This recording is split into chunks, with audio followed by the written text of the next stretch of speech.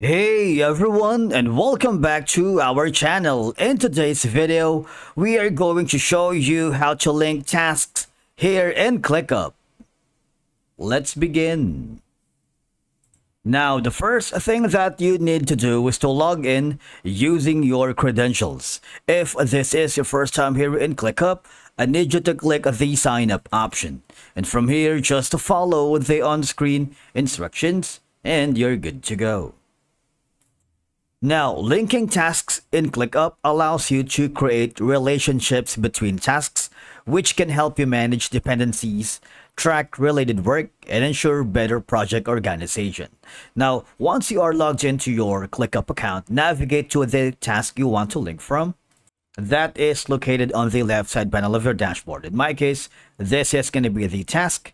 And for you to be able to find the task relationship sections, I want you to click on the uh, three dots icon here, the ellipsis buttons, there's going to be an option that says dependencies. I want you to click on it. Now here, as you can see, now you'll be given three options here. Number one is going to be, I'm going to maximize at this one so you guys can see it. Yeah, there you go. So you have three options. Number one is waiting on, wherein a task that must be completed before this task Number two is blocking tasks that can't start until this task is completed or tasks that relate to each other but aren't actually dependent on the other. It's all up to you where you want to choose depending on the needs and goals of your certain project that you're working with. For example, you're working with multiple freelancers.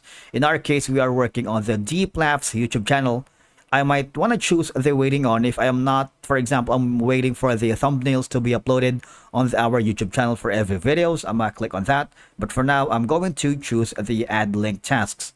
All right, because uploading and creating descriptions in our YouTube channel is correlated. So I'm going to click on this button.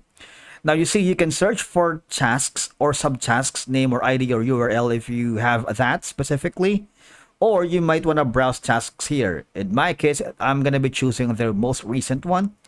I'm going to click on it and click on done. It's that simple. All right. So that's how you basically link tasks on ClickUp.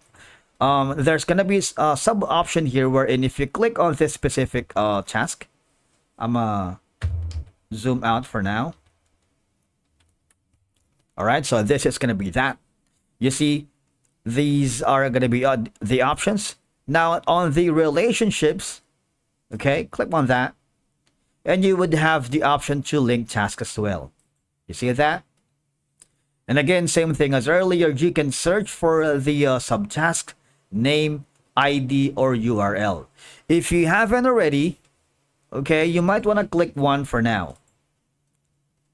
You see, you can type in the task name or type in command. For example, I'm going to be putting in deep lab laughs link task.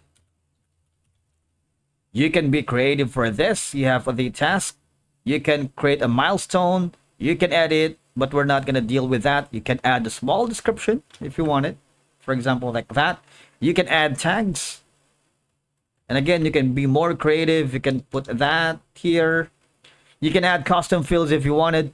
And of course, you see this uh, templates option. You can use that. You can use a template you can create instantly from template and save as a template depending on your needs and um, your goals. And once you're happy with that, create the task here so you can link it. All right.